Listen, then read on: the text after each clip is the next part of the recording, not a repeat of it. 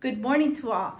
Uh, thank you for joining us. Welcome to New Life Community Church Logan Square online. Um, these are trying times, but we're very happy to, to have you here with us. Uh, we're in this together, so please join us in worship.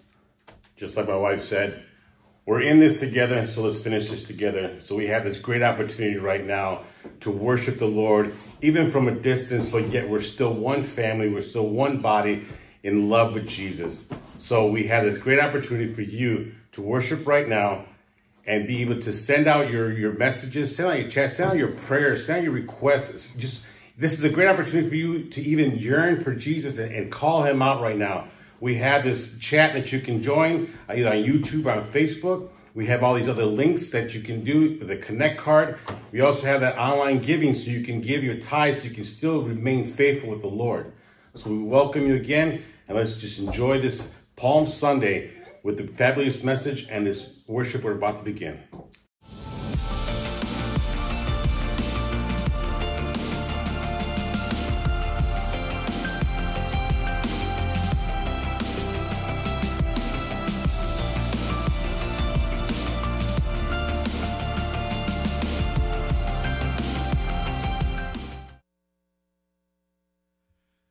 Good morning. I am so glad, I really am, that you guys are hanging out uh, with me today. Um, this week, whew, this week for me was uh, like Groundhog's Day. Remember the movie Groundhog's Day? It's like uh, one day just kind of went into the next day, and there was, uh, um, you know, it was just another day wondering so what changed today or what new thing are we having today? And so until later in the week, I, I was diving into uh, the scriptures for today. And, and I found this passage of scripture in, in symbolic, symbolically what today is representing, which is Palm Sunday. It pretty, pretty much, I, I, I thank God, it, it pretty much broke the monotony of my week looking forward to spending time with you to lead you into this passage of Scripture. So I'd like for us to be able to take a moment and let's pray before we keep on going. So wherever you're at, just bow your heads with me and let's talk to God. Yahweh God, I thank you that you have brought us together today to spend time with you, to listen to you, to breathe, to relax. For the next 35, 40 minutes, we will be encouraged, edified, built up, informed, challenged, and encouraged in you. Lord, we kneel before you and we ask you, speak, for your children are listening. We're listening, Lord. We're listening, Lord. We realize, Jesus, that without you we can do nothing, we can be nothing.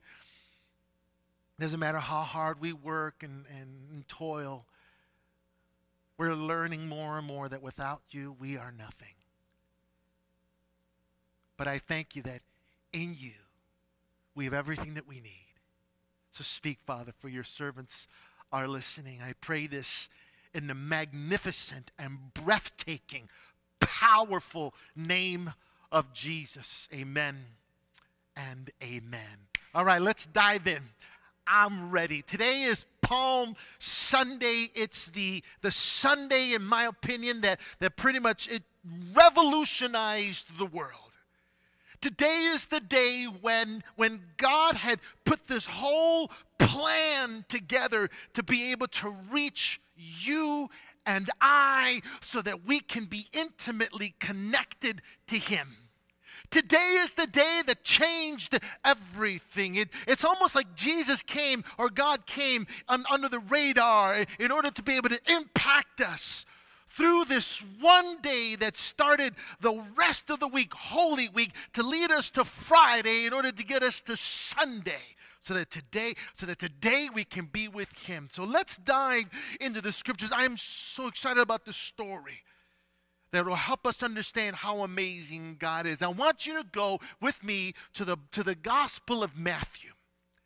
The Gospel of Matthew, chapter 21. We're going to read verses 1 through 11. All right, I'm going to give you just a, a couple of moments. Go ahead, turn on your Bible, or actually get a Bible.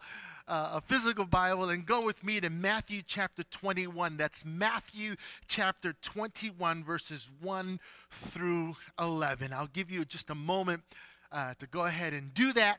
Yeah, yeah, yeah, yeah, yeah, yeah.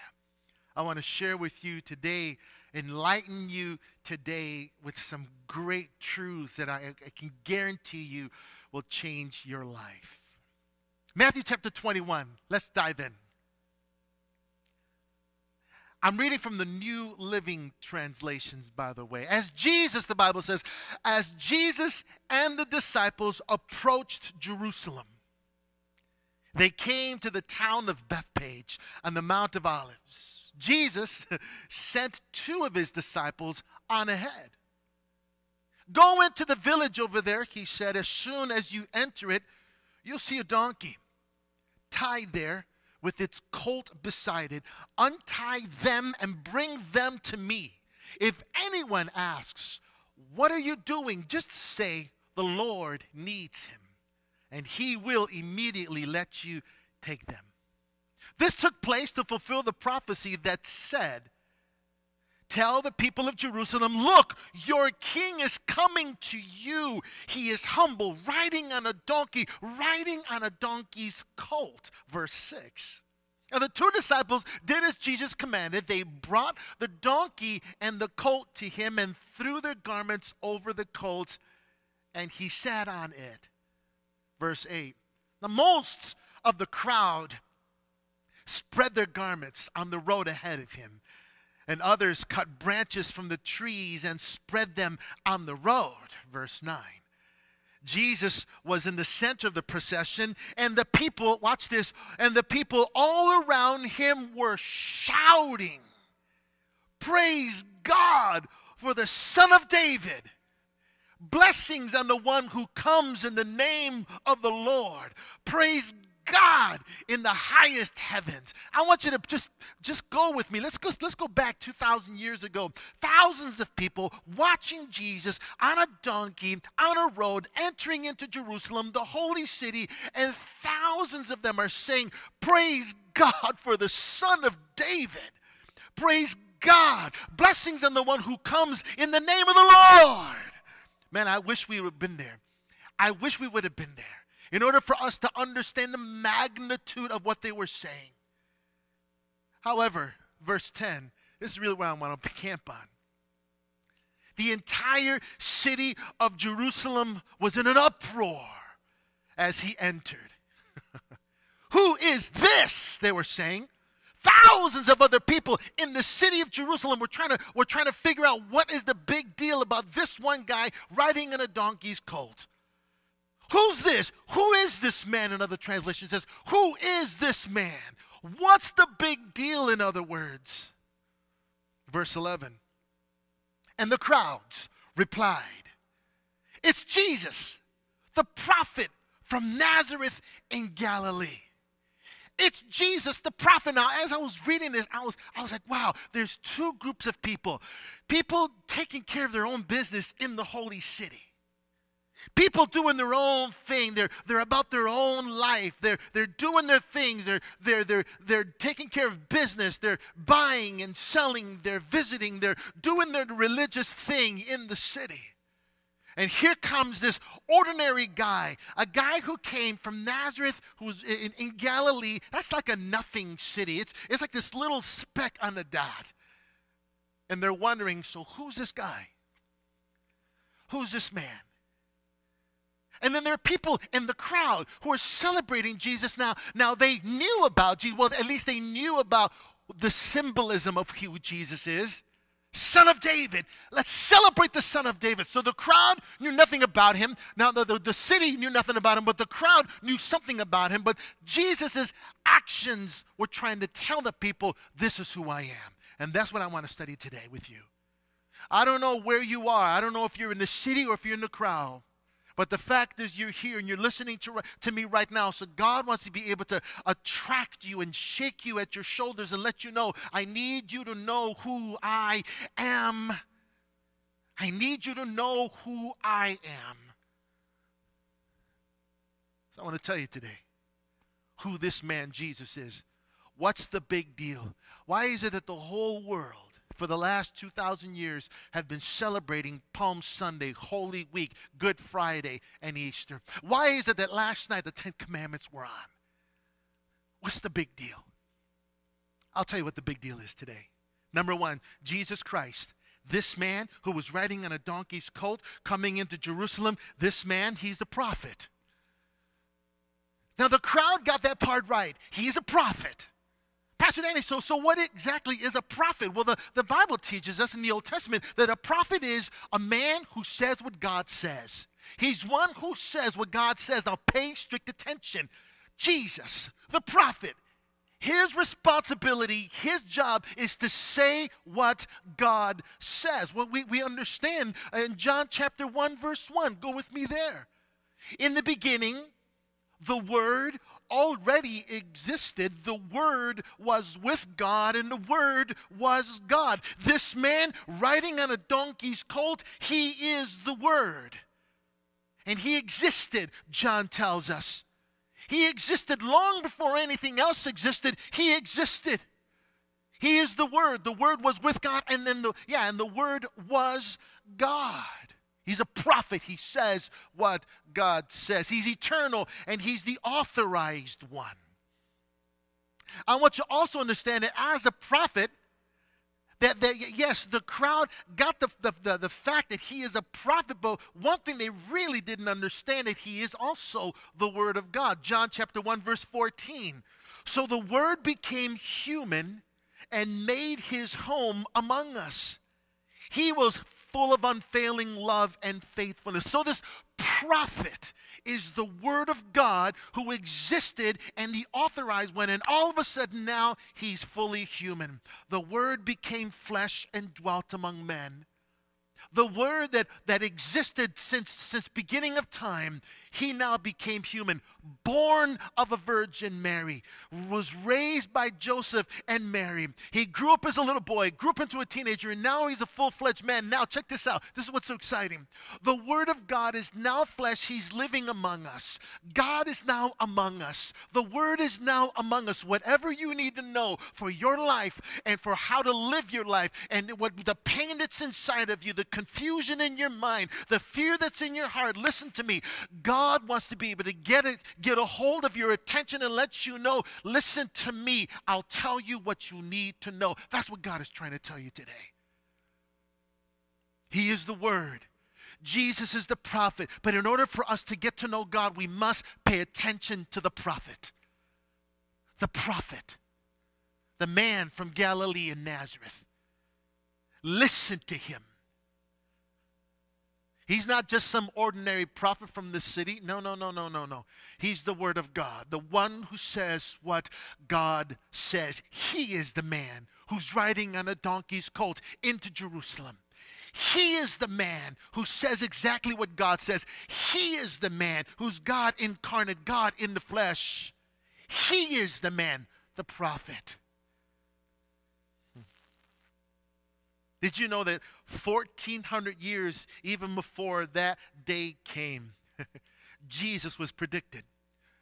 The prophet Moses, in Deuteronomy chapter 18, verse 17 and 18, he explains. Then the Lord said to me, Moses is talking to the Israelites, what they say, what they have said is right. Verse 18. I will raise up a prophet like you from among their fellow Israelites. I will put my words in his mouth. Again, this is 14 centuries before that day when Jesus was riding on a colt into Jerusalem. 1400 years before that even happened, it was predicted that, that, this, that this man, Jesus, would be raised from among the Israelites and that he would be the prophet who will say what God says. God put the words, and literally, God is in the spirit inside Jesus' flesh, trying to get our attention to pay attention. I am saying what God says. He is the prophet. That's who this man is. If you're wondering who Jesus is, number one, I need you to understand he is what God says. He is the Word of God. You can't get God's Word from anyone or anything else. It's only Jesus. Only Jesus. He is the absolute Word of God. Understand that. That's the truth. I love how God told Moses, I will put my words in his mouth. And he will tell the people everything I command him. Brothers and sisters, that's why it's so important to read the Bible. I tell the congregation, I tell you all the time, y'all need to read your Bible. I think it's good to listen to some preachers online. I think it's good for us to read some books, but there's nothing better than the Bible. The Bible is God's Word. Because God told Moses to let us know that He will put words inside Jesus' mouth for us to know. In fact, Jesus himself said in John chapter 12, verse 49, Jesus said, I don't speak on my own authority. The Father who sent me has commanded me what to say and how to say it. And I, verse 15, and I know his commands lead to eternal life. So I say, I say, look at this is what Jesus is saying. I say whatever the Father tells me to say. Jesus is the prophet. Who is this man the city of Jerusalem was saying in an uproar? I'm telling you who the man is. Number one, he's a prophet. He is the one who says what God says. Come on, I know you can say amen to that.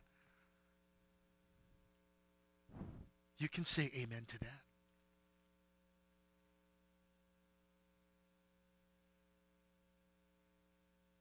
Number two,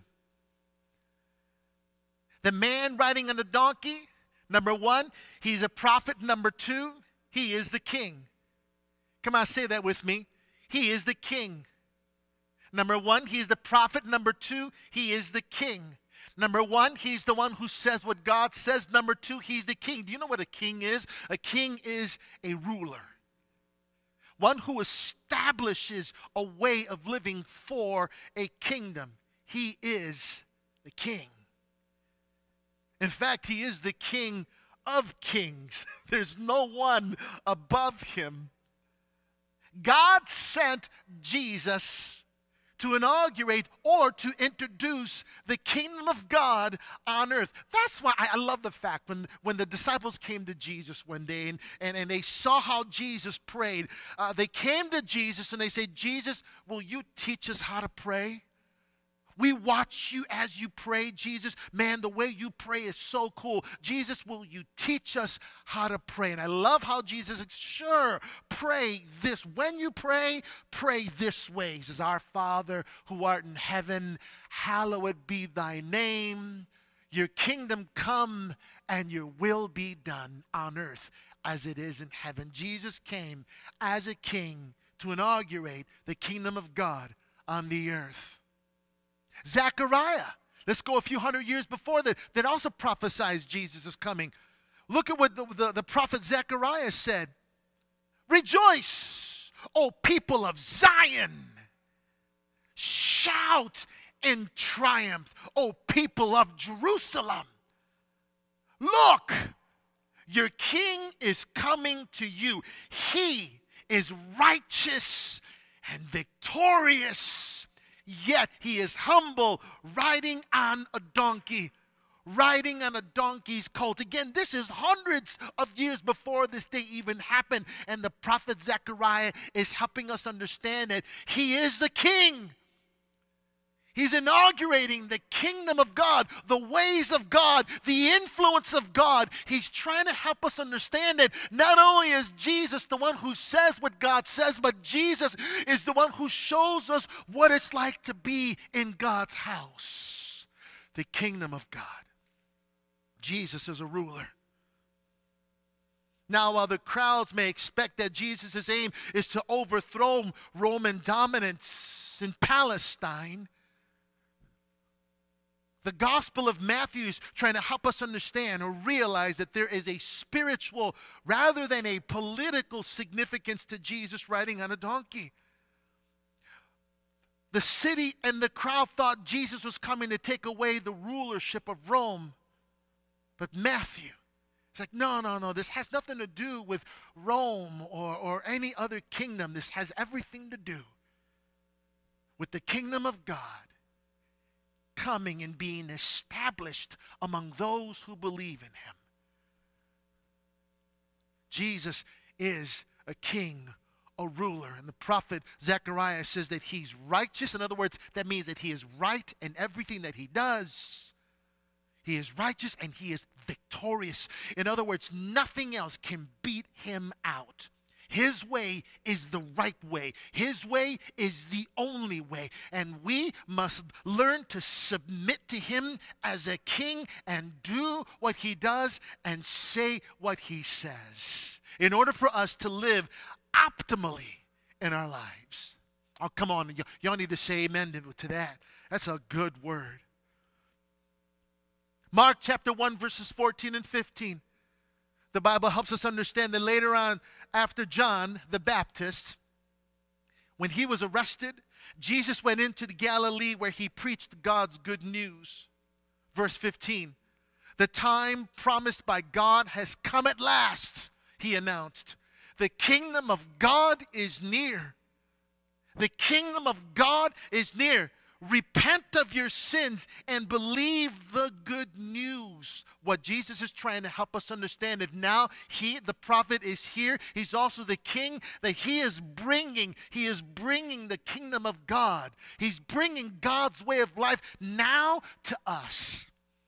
It has nothing to do really with a, with, a, with a dominant city. It has to do with a way of life. Brothers and sisters, listen to me. It has everything to do with a way of life. The way we live our lives is the way we get to, we, the way we get to show what it's like to know God.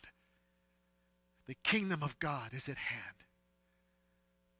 Repent of your sin and turn to God because his kingdom is at hand. Man, that's good news.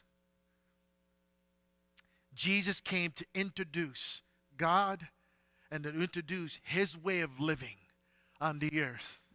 That's the man riding on a donkey. That's the man riding on a donkey. You want to know God?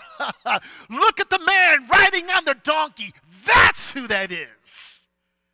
You want to know God?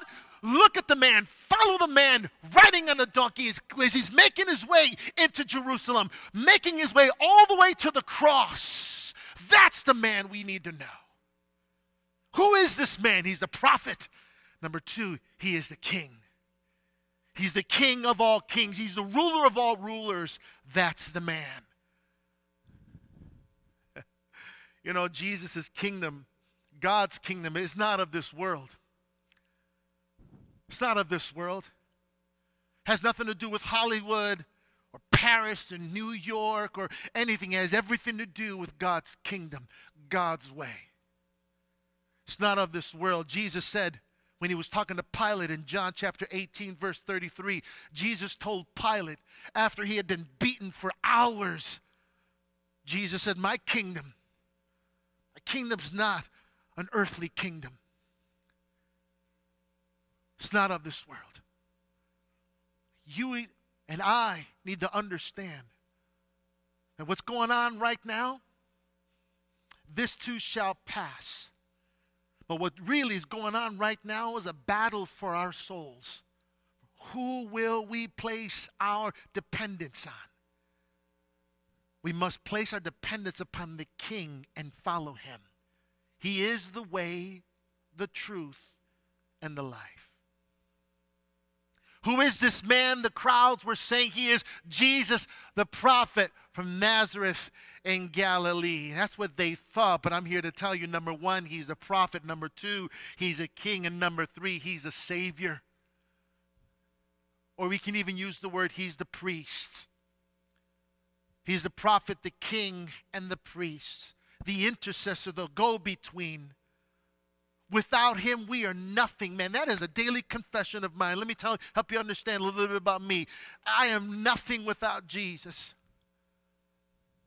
He is my Savior, He is my priest. And by next Sunday, then He became my resurrection. Who is this man the people were asking? He's a Savior. In Matthew chapter 20, verse 28, Jesus told us, For even the Son of Man came not to be served, but to serve others. And, watch this, to give his life as a ransom for many. He already knew that. He already knew that months before the crucifixion. He already knew, man, I am here to serve you, the kingdom, and to die for you in order to bring you into the kingdom, to become a citizen of the kingdom. Not only am I the one who says what you need to know that God says about you, but I'm also the one who helps you to see what it's like to be in my kingdom. And I'm also the one who introduces you or brings you into the kingdom. I am the way, I am the door into God's presence. I'm a savior. Jesus is trying to help us understand. He is a Savior. Come on, say that with me.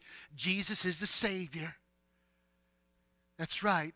Jesus is the Savior. Who is this man? People are asking me, Who is this? I'm here to tell you, He's a Savior. He's the only way to get into heaven. Listen closely to what I'm trying to tell you. He's the only, only absolute way to get into the presence of the one eternal God. There is no other way. Good works aren't going to get you in there. Money's not going to get you in there. Status is not going to get you in there. Pain is not even going to get you in there. Frustration, anger, none of that's going to get you in there. The only way into God's presence is through Jesus, the, the prophet, the king, and the Savior. I hope you're listening to me. That's what today is all about. Jesus is trying to help us understand I introduce you into the kingdom by serving you, and I'm prophesying my death. I am your ransom. Jesus says, I am your ransom. Jesus knew he came to die. That's what's so amazing about today, Palm Sunday. Palm Sunday helps us understand Jesus says, I am making my way to Friday. I got to get to Friday. Friday is my destiny. Friday, Good Friday, is the day that I'm working towards. All these, the last three years led, is leading me to Friday. I came to die. I knew I got to get to the cross. Just get me to the cross. So he sent two disciples on ahead. Get me that donkey. I got to ride that donkey. I got to ride that, that pathway that leads me into Jerusalem. Because once I get to Jerusalem, I, it gets me to Friday to stand before Pilate and say, and say that my kingdom is not of this world so that I can die on a cross. And when I die on the cross, I, I will be raised again on Sunday so that now when you believe in me and trust in me and look to me and lean on me, oh, hallelujah, I will lead you to God your eternal life. Get me to Friday. I'm your Savior. Y'all need to listen to me. I know I'm talking to somebody out there. One commentator said it so beautifully. He says Jesus' immediate purpose is to come into Jerusalem and to die on a cross. That's the beauty of an ugly cross. That Jesus, a wonderful Savior, a perfect, the perfect Lamb of God, became sin So that when we believe and fully trust in Christ, we are now, now made right before God.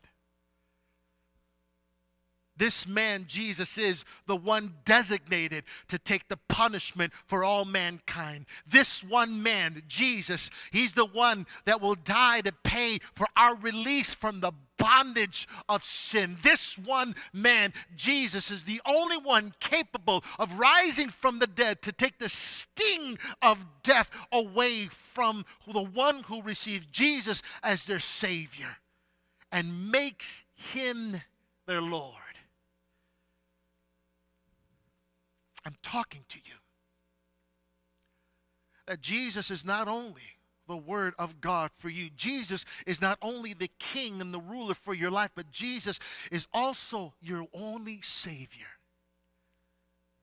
He's your only Savior. John chapter 11, verse 25. Jesus told Mary, you remember that story?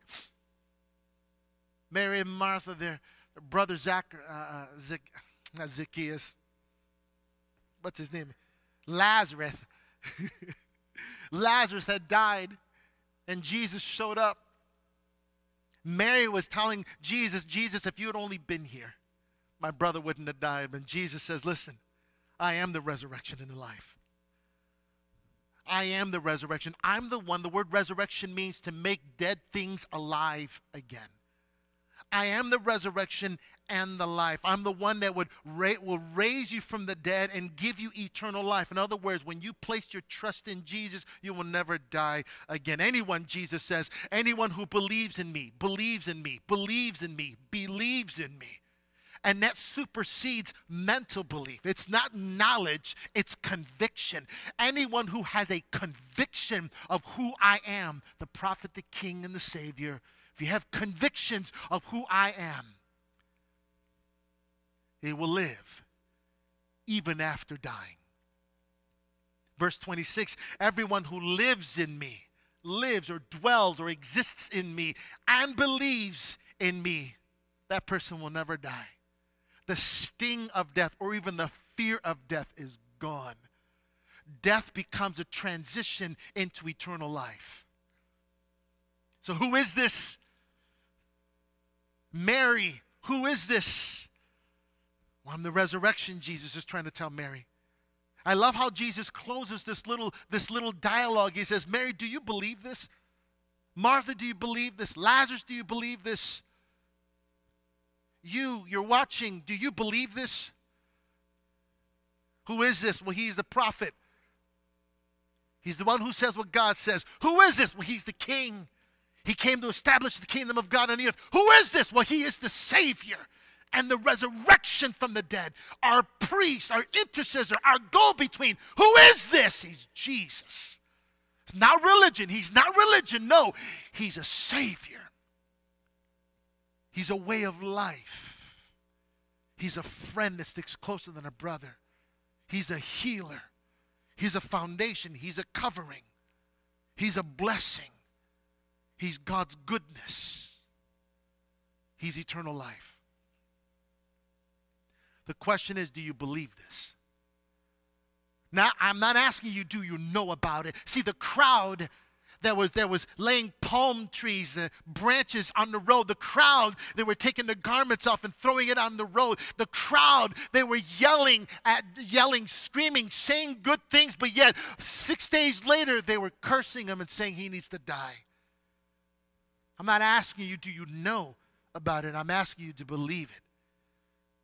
Will you be willing to place full and total and complete trust in this man? The man riding on a donkey's colt.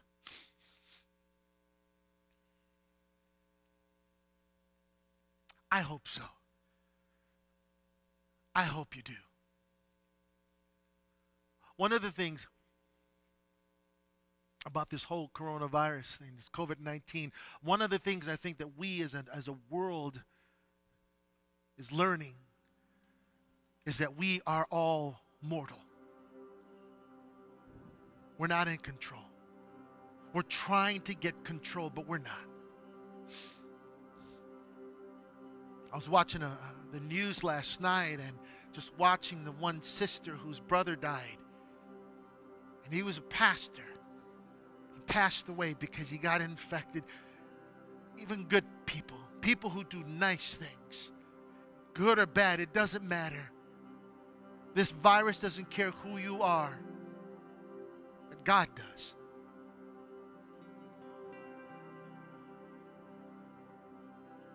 Will you place your trust in Him?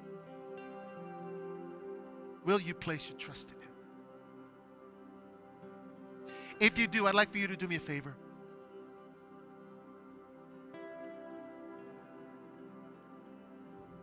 I'd like for you to say a simple prayer with me. Right where you are, you might be by yourself, or you might be with a couple of people. But while you're paying attention to me, I believe right now, I think I can be as bold as to say that uh, God, through His Son, Jesus Christ, through this simple medium of Facebook or YouTube, is trying to get your attention to say, I believe. I believe. I'd like to invite you to pray with me.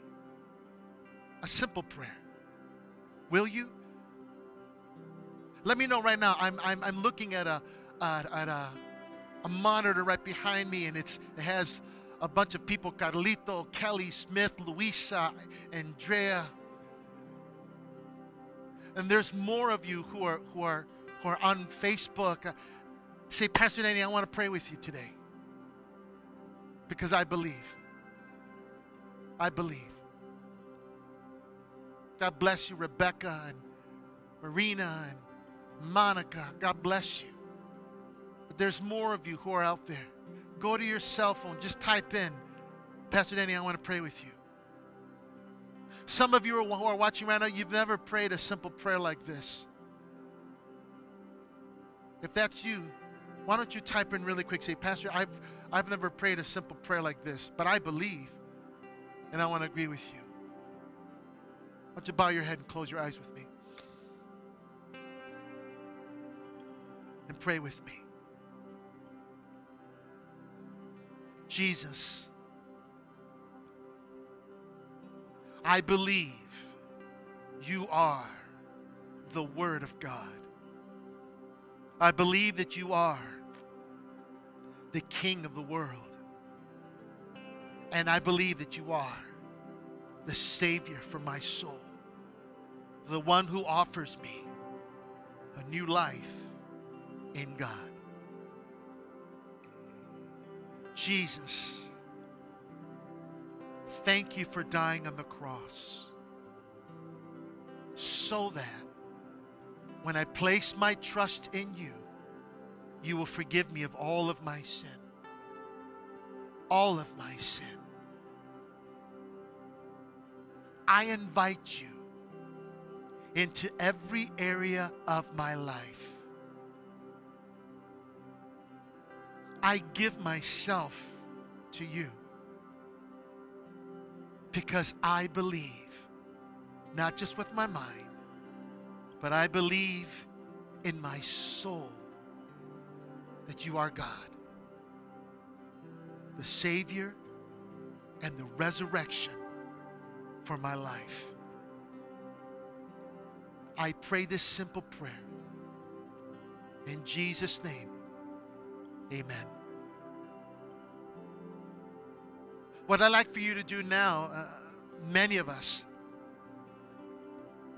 uh, are preparing for communion. I've never done communion like this before, so I think this is new for me as it is for you, but man, this is good. I asked some of you or all of you online to, to prepare some bread and some juice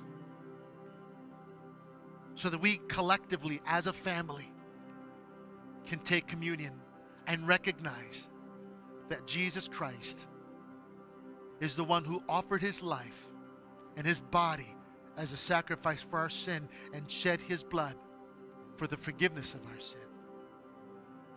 I'm going to be reading from 1 Corinthians chapter 11 verse 23.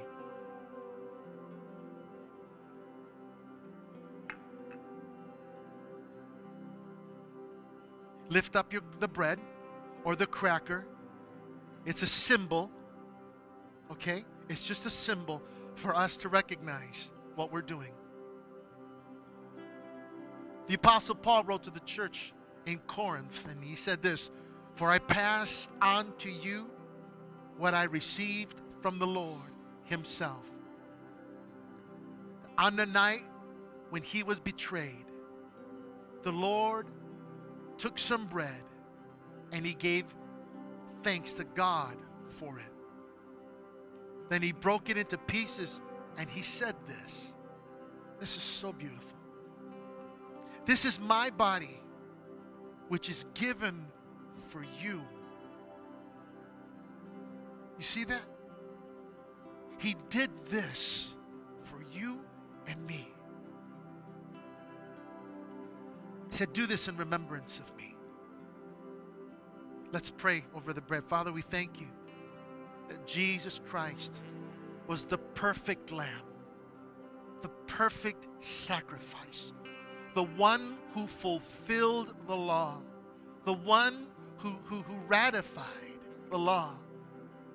He's the one who satisfied the sacrifice for all of my sin. So I will eat this bread to recognize that Jesus Christ is the true prophet, the King, and the only Savior who died on a cross for all of my sin. Amen. Let's take the bread together.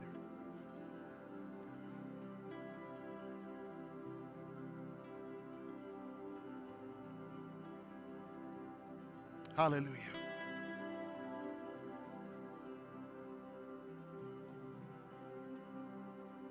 Blessed God Almighty. Mm, mm, mm.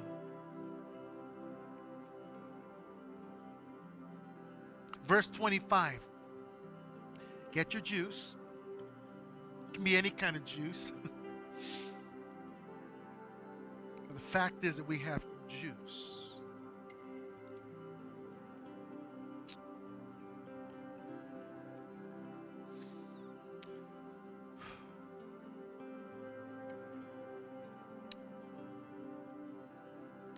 Sorry, I just sense the presence of the Lord right now. Blessed Messiah. Thank you so much for the sacrifice you made on a cross. You became sin so that we would not be sin anymore. Amen. Hallelujah. Mm. Verse 25. Jesus said this In the same way, he took the cup of wine after supper, saying, This cup is the new covenant between God and his people. It's an agreement confirmed with my blood. Do this in remembrance of me as often as you drink it. Paul goes on to write, he says, For every time you eat this bread and drink this cup, listen to me, we are announcing the Lord's death until he comes again. So let's drink our juice together, remembering that this is a symbol of the blood of Jesus, which is the new covenant between God and us. Father, we thank you for the blood that Jesus shed on the cross for us, that there's life in the blood. Let's drink.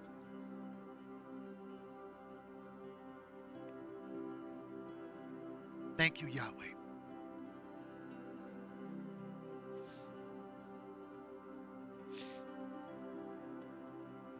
Thank you so much. Thank you, Lord.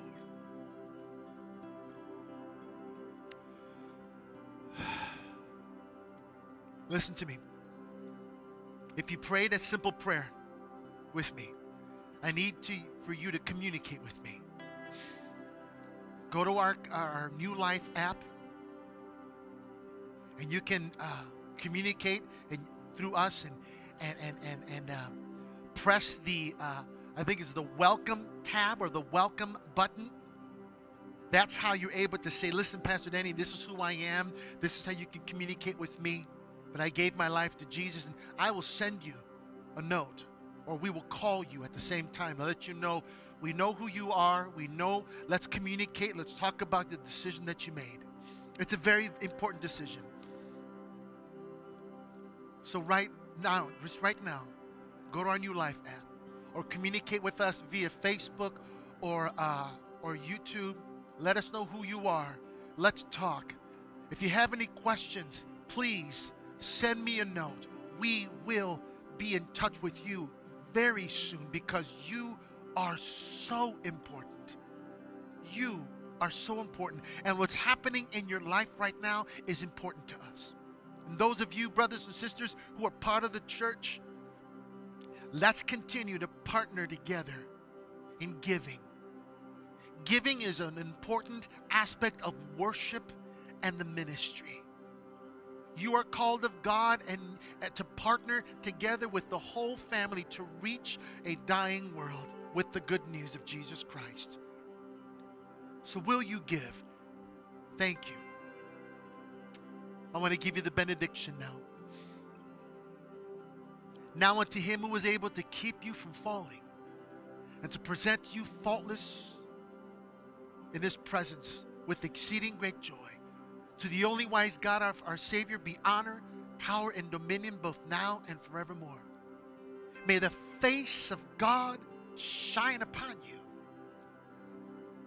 May the grace of our Lord Jesus Christ enable you. And may the presence of the Holy Spirit be upon you and with you and in you. That he may lead you into all truth, that you may know him and make him known. I pronounce this blessing upon you in the name of the Father, the Son, and the Holy Spirit. Amen and amen.